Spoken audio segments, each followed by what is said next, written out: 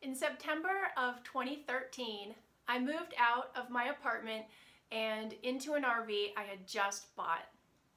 Since being out of my parents' care at the age of 17, I had only experienced apartment life and renting rooms in other people's homes, neither of which really resonated with me.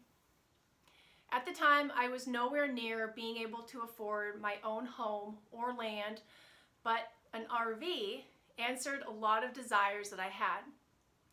The top three reasons for moving into my RV, which had not yet been available to me, were being able to do renovations, not paying pet rent or sharing walls with other people, and the ability to relocate easily. I bought my first RV, which you might recall I named Ria Rada, for $6,000. I figured if I could live in it for two years, the cost of the RV and the cost of parking it somewhere would break even compared to the cost of renting an apartment at the time. And if I lived in it longer, then I'd be living for pretty much as cheap as possible without being homeless. When I began RV living, the campground costs were around $300 per month. As the two years rolled around that I was waiting for to basically break even, I was still totally comfortable and absolutely loved my RV and loved living in my RV. I remember waking up in the morning, cozy in my bed, and my eyes went open to the roof and I would remember that I'm in my RV, my own roof over my head, a snug home that was mine, and I would just feel appreciation pour out for this simple life that I had created and put together that kept me safe and also allowed me to save the maximum amount of money than any other traditional living situation. I was enjoying the simple life. Being stationary, I even had a fenced area for my projects and for my dog, Andiamo, who loved laying on the patio and also even underneath the RV, keeping watch over our little home. I did my solar projects, which all of you can view on my YouTube channel, solar projects that were on my RV installed and solar projects that were separate from my RV. I learned so much mechanical work from owning the RV and a lot about electrical work and plumbing lots and lots of plumbing fixes. it was a renaissance time for me with a lot of productivity and passion projects as well as new hobbies. It was the time that really set my channel up and brought in a lot of viewers and subscribers to watch all the renovations and work I was doing relating to the RV and also projects that did not necessarily pertain to an RV but that anybody could do. I may have looked impoverished from the outside as I was living in an old RV in a trailer park, often rolling on the ground fixing stuff or crawling under my sinks to investigate leaks. But I was saving so much money and doing everything that I loved. This is one of the most cherished times of my life. As my YouTube channel and popularity grew, some viewers encouraged me to travel and get out onto the road. After all, my home had wheels and a powerful engine. It took some consideration because I was quite happy not traveling. I loved having my cozy yard and place where I could do my projects. Sadly, Andiamo soon passed away at almost 15 years old. And also, I was uprooted from my favorite RV park by new management. And it felt like perhaps the road was my next step to get out on the open road and take my home on wheels with me. Alas, I did not work, I did work from home at this point, so nothing was tying me to one location. It was determined. I was hitting the road. I did not know at the time, but it would feel like a whirlwind of never ending, constant change, movement, excitement, fatigue, and heavy financial expense. By the way, all of my channel, all of my travels can be watched and enjoyed for free on my YouTube channel. Now, I'm not discouraging anyone from RV life on the road as I cherish those experiences and memories and I feel so grateful and downright lucky to have had those travels. However, as the years rolled on, just like my RV tires kept going, and as I saw and experienced life all over this country, my sense of home and belonging faded. Staying at so many RV parks, I always looked for some of those who like I had previously had, had their cozy long-term setups with their own little potted gardens and piece of heaven or a slice of life going on.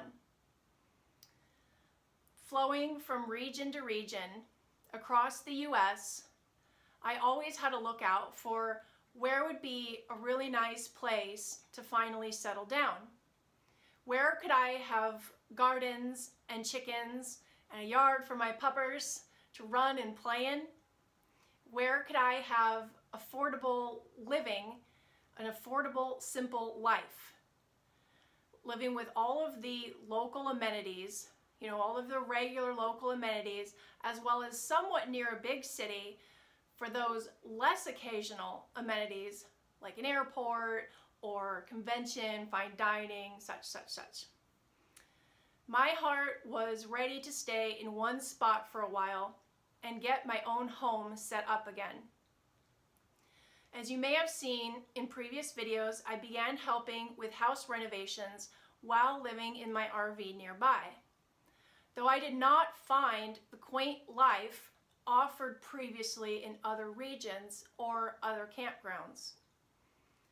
Tornadoes and hail regularly threatened my RV, and life began to feel like I was just surviving, not living and loving it. Then the Rona struck, and my main source of income, my biggest client, went under, and I was quickly needing to reconsider everything.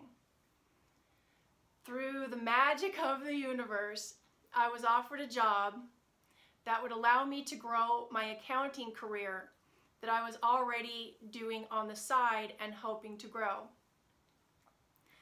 Within days, I began a whole new lifestyle that wasn't anywhere comparable to what I was used to. Suddenly, I was tied to a location.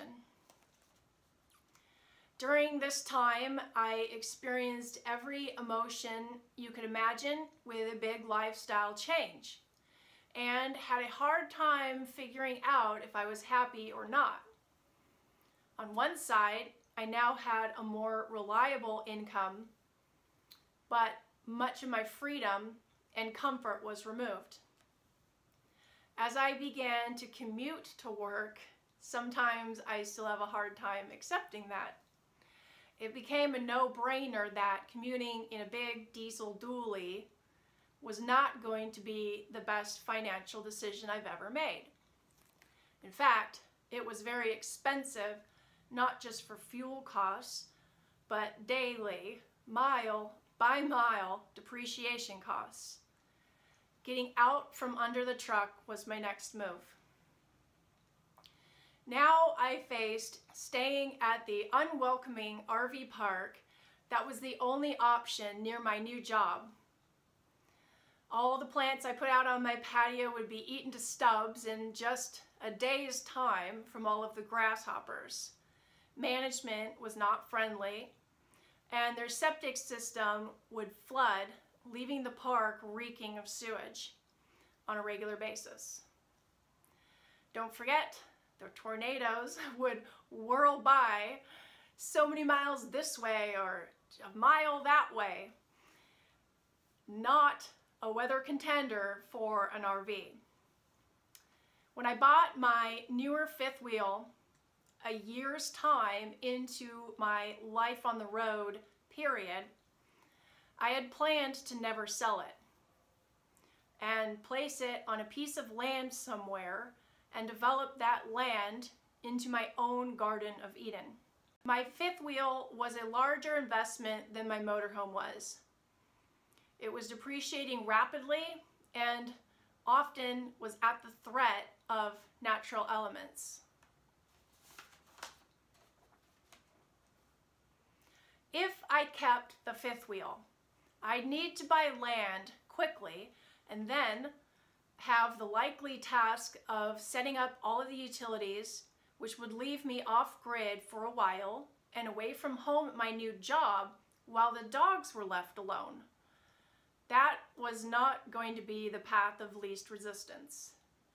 If I sold my fifth wheel, the money that I had in it would be free to use elsewhere and wouldn't be depreciating.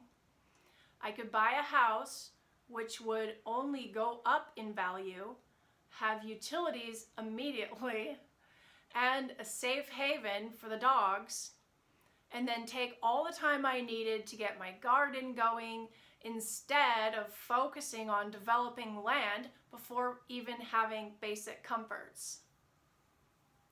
The option was clear to me. I sold my RV and I invested in my first home. Now I have plenty of space for all of my projects, for gardens, chickens, plenty of yard for the dogs to run and play and nap on the patio. It has the huge bonus of appreciating instead of depreciating. I'm now able to get back to the life I feel like I left when began traveling. It's taken a bit of time to get settled in, but I wouldn't change a thing at this point. That includes my RV travels. I'm glad it all happened as it did, and I'm glad to be where I am now. I feel like I'm at a point again, like where I was when I was most happy when I first got my RV, doing renovations, working on projects, having my garden. Now, not just potted plants of a garden, but the option for so much more. And for the first time, getting chickens. I can also now do renovations, which will be more satisfying and permanent than in my RV. I'm so excited about my new lifestyle and new future, and I hope you are too. I know not everyone will be, and there are plenty of other YouTube channels to watch. My videos now won't be forced to get content out. It'll come as the time and projects allow, which I believe will create richer content than before when I was traveling and trying to maximize content and videos. Also, since I have a different job now, my time is much more limited, so videos will be less frequent. However, I still plan to do them. Thank you so much to those who have joined my journey thus far, regardless of how long or how far back you joined.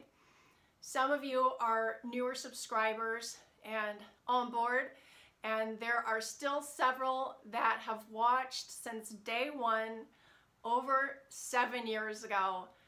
Thank you guys for coming along this entire time with me. That means so much to me that there are people that have gone on this journey with me. By the way, I still have an RV video to post, which has yet to be edited, so there still may be some RV content to come. This is a new chapter, a very exciting one, and one where I feel like I finally have the peace of mind to settle in day by day, project by project, and enjoy life and share it with you. Thank you for watching. Find something to appreciate and keep it simple.